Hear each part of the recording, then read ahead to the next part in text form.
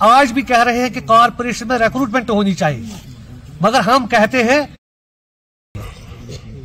it is the alarming situation और दूसरी बात दूसरी बात जो रेगुलराइजेशन की बात है। हमें अफसोस के साथ कहना पड़ता है, कुछ लोग आज भी कह रहे हैं कि कारपोरेशन में रिक्रूटमेंट होनी चाहिए।